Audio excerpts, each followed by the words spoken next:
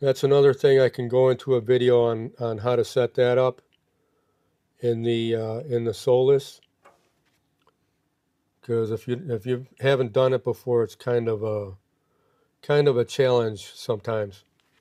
Same thing with the WaveShare. I this is the first time I've messed around with Home Assistant, so it, it took me a little while. I'm using what's called the Sunsynk card in Home Assistant. And all you have to do is, is once that's loaded, you just have to put the sensor data for Solis in there. And like I say, I can do a, I can do a video on that if, if there's any interest. It's, it's not too bad. Um, first time through, just like the, uh, like the electricity meter, it's a little bit of a head scratcher in some spots.